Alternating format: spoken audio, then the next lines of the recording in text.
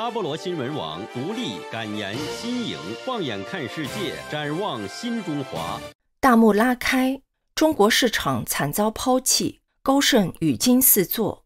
另有一盘棋，中共三中全会有啥名堂？三中全会前，马云回国现身阿里总部，引发猜测。欢迎收看阿波罗网热点直击。今天是七月十一号，星期四。向大家报告，在本视频结尾，我们会介绍副频道每天最新内容，请大家多多支持、订阅、点赞、转发和留言，让我们的亲朋获得真实资讯，在乱世中自保。下面请看详细内容。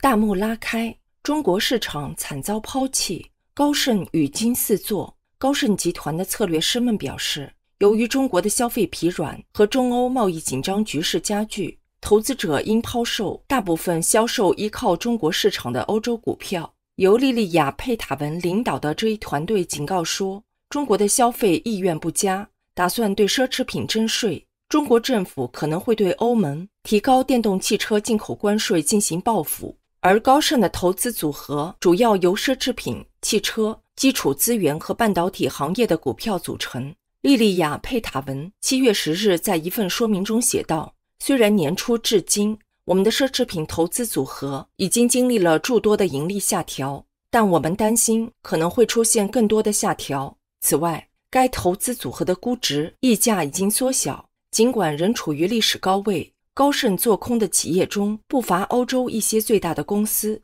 包括奢侈品公司路易威登集团和欧莱雅集团。”这两家公司分别有百分之十七和百分之二十一的销售额来自中国。欧莱雅上个月警告说，由于中国市场在多年强劲增长后出现疲软，预计二零二四年美容市场的增长将放缓。高盛策略师们同时表示，在美国有业务的公司将迎来好运。策略师们建议投资者买入收入主要来自美国的公司。诺和诺德公司和英国石油公司是其中的佼佼者。今年三月四日，高盛集团财富管理首席投资官拉赫玛尼在接受彭博电视台采访时说：“我们所有的客户都在问这个问题。考虑到中国看起来如此便宜，人们不可避免地会说，它是否已经过了最糟糕的时候？我们的观点是，不要在中国投资。”他给出的理由包括对未来十年中国经济稳步放缓的预期。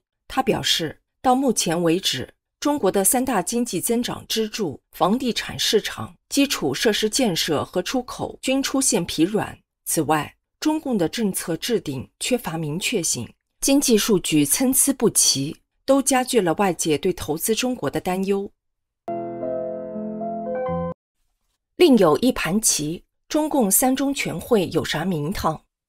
众多中国问题观察家正在密切观察中共推迟举行的中共二十届三中全会。他们的观察和评论的问题包括：在中国经济面临诸多根深蒂固的原因导致的困境之际，这一次三中全会会提出什么解决问题的思路？美国财经新闻机构彭博社七月七日以“为什么中国的三中全会事关全球投资者”为题发表新闻背景介绍，介绍了中国问题观察家对这次中共重要会议的预期。尽管人们对中共当局提出突破性、结构性改革的期望不高，但投资者正密切关注解决一系列长期问题的政策的任何动向。这些问题包括中央和地方政府之间的财政关系、房地产市场的下滑、陷入困境的私营部门、国家对技术产业的支持以及人口老龄化。投资者关注的重点是财政改革。去年十二月，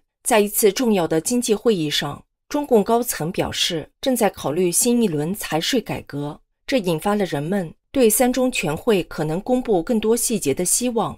房地产政策是投资者关注的另一个领域，因为房地产低迷仍然是中国经济的最大威胁。美国之音报道，总部设在美国首都华盛顿的智库大西洋理事会七月五日在其网站发表该智库地缘经济学中心高级研究员杰瑞米·马克的文章，写道。在中国面临房地产危机、高失业率、企业和消费者信心下滑以及地方政府债务高企的情况下，人们可能认为中共政府会全力以赴制定计划，让国家走出经济低迷。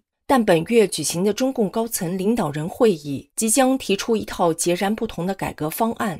三中全体会议不会关注中国当前的问题，而是将通过大规模投资尖端技术来打造产业，为中国与美国的对抗做好准备。该计划的宗旨是加强中共对中国社会的控制，并展示对最高领导人习近平恭顺服从。从大流行病清零政策到打击大网络公司，习近平的政策失误导致了经济低迷。这也将凸显中国正在转变长期以来为增长而增长的经济战略。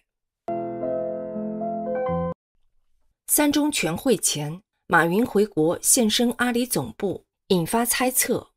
七月十一日，马云回国现身阿里总部的消息登上热搜。据网上消息，马云在伦敦游历数日后，于七月六日回到杭州，并现身阿里巴巴总部大厦。网传视频显示。马云西装革履，和一众阿里巴巴高管步入总部大厦，沿途员工欢呼不断，很多人拿起手机追着马云拍摄。马云满面笑容，和大家热情打招呼。作为遭中共打压的阿里巴巴创始人，马云的每一次现身都会引发外界关注。对于他此次低调回国，又罕见冲上热搜榜，有网友表示质疑：真低调怎么上热搜了？出国的时候才低调，说的也是。出去的时候一点消息都没有，还是国外报道才知道。回来的时候就马云回来了，马云回来了。也有网友意味深长地说：“马云回来了，这是啥信息？